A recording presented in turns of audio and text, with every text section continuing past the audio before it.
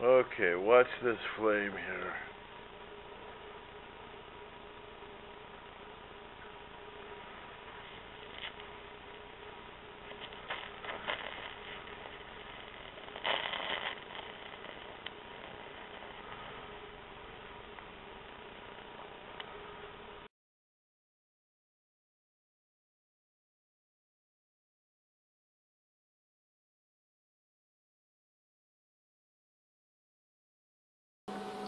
Alright folks, we're back again here in the evening to look at the uh, ability of the torch and how it responds to plasma. I hope you can see the flame. It looks like you can.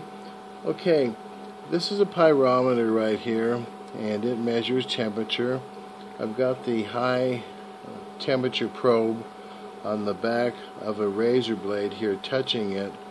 And with the flame here I'm going to uh, administer heat to the side opposite the uh, sensor. The plasma that is in the constitution of this gas allows us to receive a lot of BTUs, a lot of heat from this flame the ability to dissolve metal and um, things like that. It has uh, some of those abilities, but not as much. Primarily, the flame has been softened, uh, and what we're going to do now is look at how hot we can make this without using any type of petroleum bubbler or think just using water. So as I heat it up right here, I'll try to not dissolve my probe like I've done before. We're up to 650, 700, 800, 900, 1000.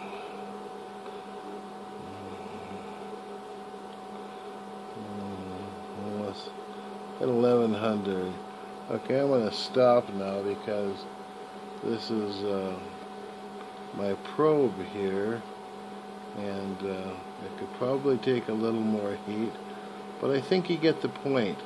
Uh, 1400 degrees is not uh, hard to reach. It uh, it hit that very well. Uh, they tell us that a pure HHO flame is roughly 277 degrees Fahrenheit.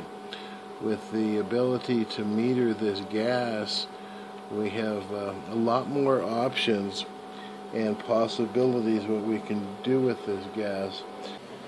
Alright, uh, we seen what the plasma did to uh, the razor blade as far as building up heat. Now we're going to look what uh, HHO flame can do to the same type of razor blade. And we have a hole punched through it immediately. And it's burning up on the other end. Alright. Well, I think you can see the uh, difference, how it instantly dissolved metal and how we were able to raise heat the razor blade that we used on the plasma uh, is this one right here. And there was a little bit of scorching to it but there was no hole burned through it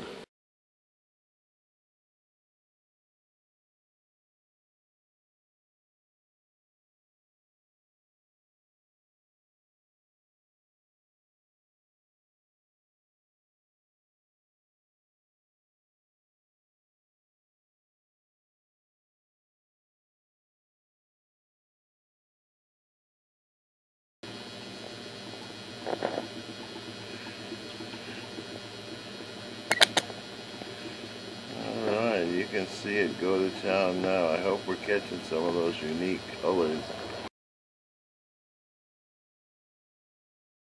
They're gonna look at something that uh, can take the HHO flame and not melt. This is a seashell.